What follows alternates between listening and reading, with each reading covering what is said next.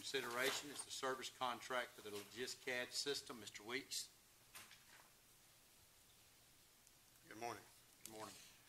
Um, All four of these items, A through D, are the annual renewal for our service contracts for the uh, CAD system, the public safety radio system, the mobile data uh, system that supports the computers in the cars, as well as the uh, uninterruptible power supplies at the 911 center and all four tower sites. These are budgeted items, and I come back every year and ask y'all to give me a signature so we can renew these.